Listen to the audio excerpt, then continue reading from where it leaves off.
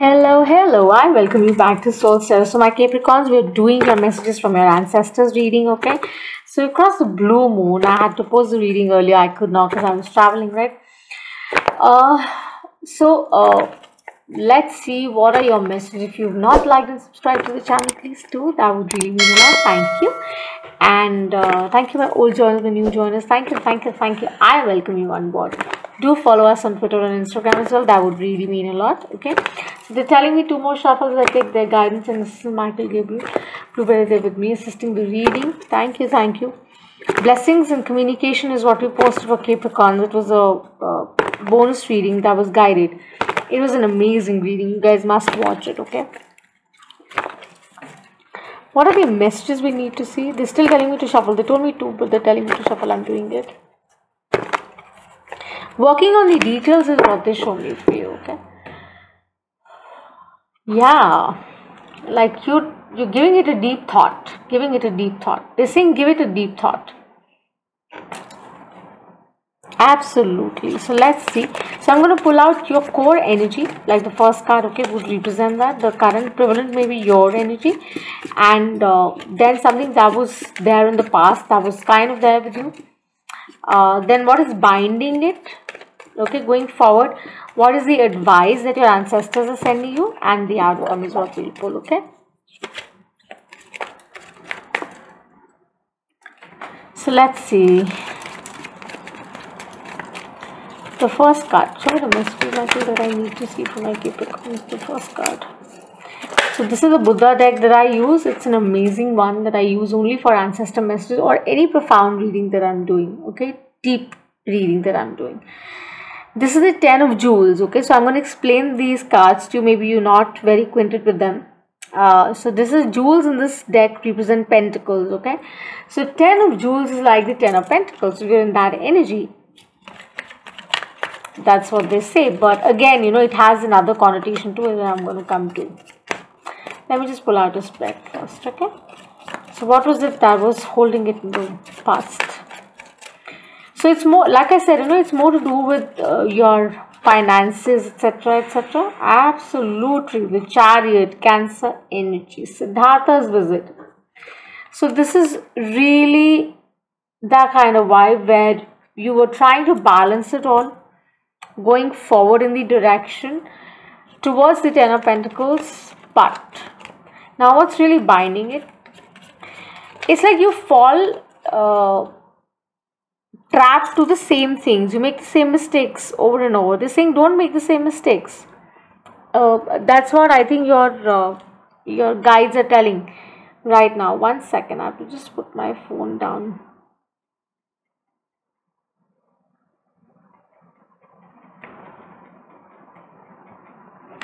yeah. So what's binding it really? There are too many. We can't have just one card michael. You buy one card with the ten of jewels and the chariot for my capricorn although when we're doing these readings we do not talk about uh, you know other understandings but see we have the middle path. You have to take the middle path. You cannot be out there saying that, you know, I'm going to make it my way. It's my way or the highway. No. If you need to get this, you'll have to balance certain things in life. Look at the card, how amazing it is.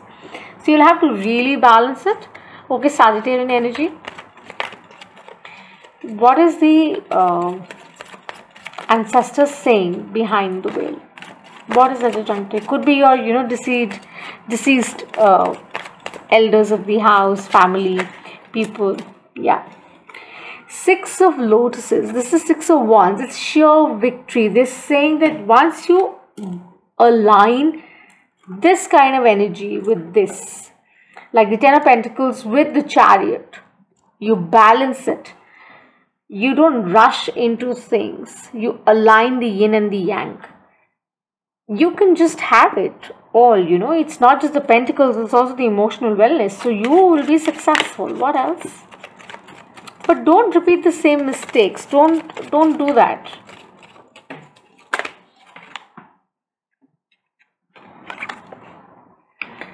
The zack exactly. I think scorpio had it. The full moon.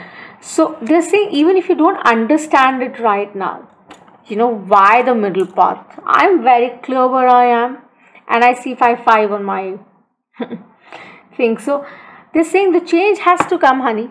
You cannot question it. Do not question it. Trust it. Trust whatever is being sent to you for your highest good.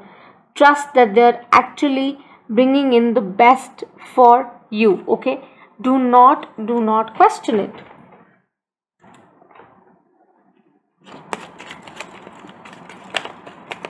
What else for my Capricorns? What is the outcome? this is nine of Vajras, so this is nine of swords. They say you just have to trust it because you're not trusting it. Okay, you're not trusting it. You don't have to know what you don't know. Trust it. That's what this card really reminds us. Okay, let me just give you a detailed understanding for it because obviously you know these cards are a little different right? So see ten of jewels as i said is about the ten of pentacles. Siddhartha is the chariot okay the cancer energy. So what you're really saying is that if you keep pushing in this direction you know with the chariot this kind of energy the my way the highway. They're saying you would invite a lot of stress anxiety a lot of uh, you know issues to you because obviously you would be on the go all the time and you would not be able to kind of you know look things into perspective.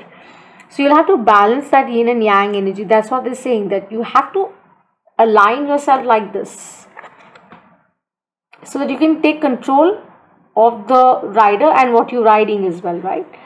So that is where you'll be inviting the uh, ten of jewels because this is what is binding it you know this is what is binding it. This is the middle part the sagittarian energy wherein you'll understand why this is happening for you right? And why you need to balance it all. Six of lotuses that if you do this this is coming to you. Lotuses as i said they're one. So this is really about riding this horse and standing victorious. It's that kind of vibe. It's six of wands kind of vibe. It is leo sagittarius energy. And with the zach here it is really about saying that, you know what, I trust you no matter what. I will yet again manifest new moon coming forward and I'm going to put in my best. And I will try not to fall into the same trap. Because I told you that that's what they've been saying that, you know, how much planning you may do. Literally. Virgo season is really about that kind of vibe only to organize, to structure, etc. etc. right? It is going to do it automatically, right? But what they're saying is that the interesting thing to do is that you also try to you know get out of your comfort zone which is like i know it. I got this. You say that you know what? Maybe i have not yet. I will receive it no matter what because i'm balancing it. I'm aligning myself. And that's where the twist will come the exciting offers, exciting engagements will start coming around, and you'll embark on a new journey, right? So that's what uh, your ancestors are really telling you to, you know, um, to be easy with yourself, I think, and also have that sense of perspective uh, with the chariot here okay? So let me clarify with the ethereal the ten of jewels the siddhartha and the middle path for you.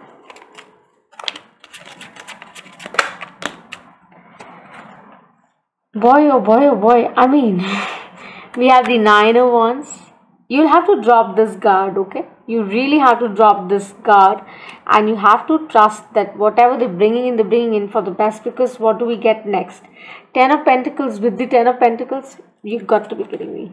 It's such an amazing thing. I mean, you've got money. Baby, show me the money. Your ancestors are saying that this time it's coming to you. But this is also about transforming yourself here because that is how you'll be going forward. You'll have to bring about that change. You'll have to balance those two energies that you're not able to balance it well, right? So what do we need to see with the Six of Lotuses, with the Nine of Vajras and the Zac? two swords air energy. They're still saying that you will not kind of trust it because you would be questioning it. They're saying please don't do that.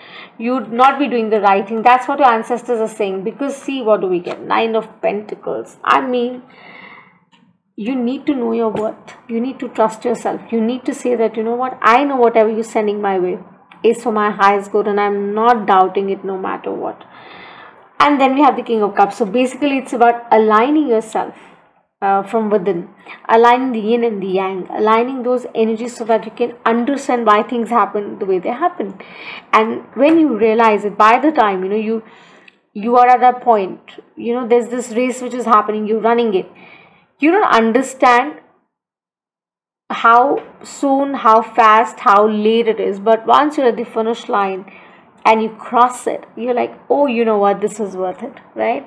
So exciting, exciting reading. I love it uh, for you guys. So uh, thank you so much for watching. And if this resonates, give us a like and subscribe. And do share it on your social handle. That would really help. And stay home, stay safe. And I shall see you the next time. Bye.